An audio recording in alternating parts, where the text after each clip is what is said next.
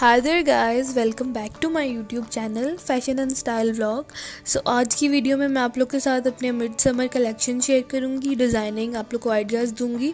So let's start the video जो ये first suit है ये मैंने इतिहाद से लिया था. सो so, इसकी नेक पे ये लेस लगी हुई है लगवाई है और ये साथ गोल्डन लीव्स मैं आप लोग को क्लोज से दिखाती हूँ.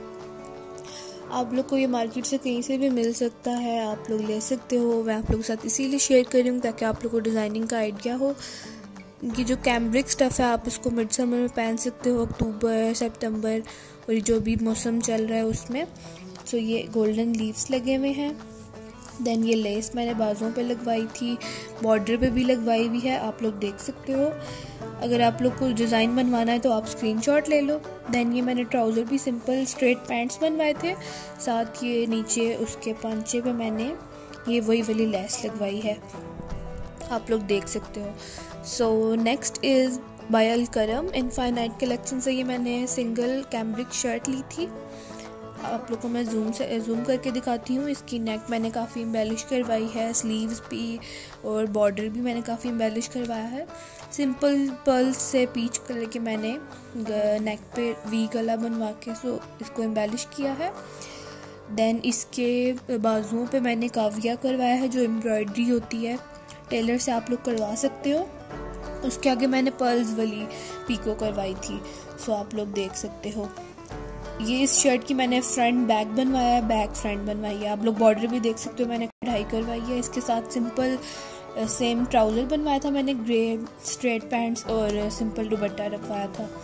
नेक्स्ट इज़ बाय खाडी ये भी कैम्ब्रिक है। मिड समर में आप लोग पहन सकते हो।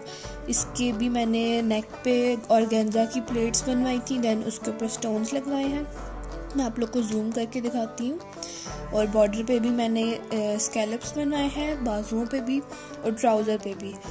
सो मैं आप लोग को जूम करके दिखाती हूँ। आप लोग इसका स्क्रीनशॉट ले लो। ये मैंने प्लेट्स डलवाई हैं नेक पे। बाजुओं पे मैंने स्कैलप्स बनवाए हैं। आप लोग देख सकते हो।